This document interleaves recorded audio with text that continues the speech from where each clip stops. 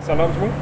Okey, kita bertemu lagi dalam uh, reaction drama siri Kerana Cinta Itu Ada yang dah masuk episod ke-15 So, jom kita tonton episod kali ini.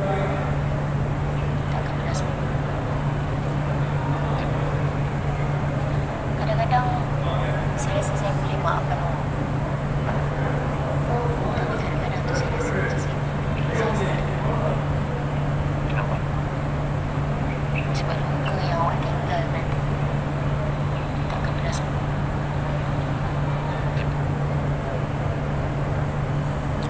Okey, itulah dia.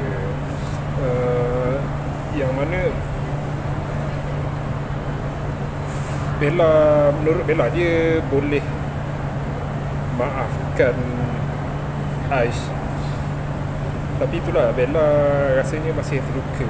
Jadi dia punya ada sedikit keegoan pada diri dia lah. Bila dia uh, macam uh, menolak Aish yang bertahun-tahun dia tak jumpa tapi sebenarnya Aish masih lagi suaminya.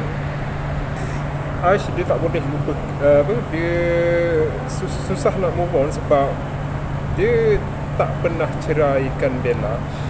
Dan dia nak Bella treat dia sebagai seorang isteri lah uh, maksudnya macam uh, nak mereka hidup sebagai suami isteri tapi itulah kalau kita tengok dalam episod sebelum ni nak hidup dalam dalam drama lah nak tidur se apa sebilik pun uh, susah. Uh, Bella sukar nak menerima hakikat yang dia masih lagi seorang isteri ni uh, isteri Aish sebab dia tak pernah melalui keindahan sebuah perkahwinan. Uh,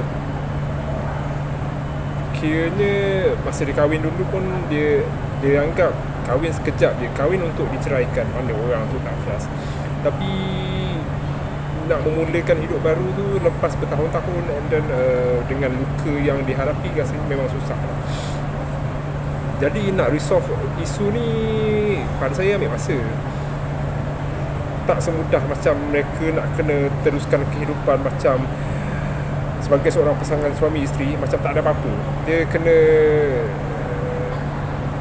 dia kena macam berkawan balik, kena apa kena kena mulakan uh, kemanisan eh, sebagai seorang kekasih lah kot baru dia boleh move forward sebagai suami isteri.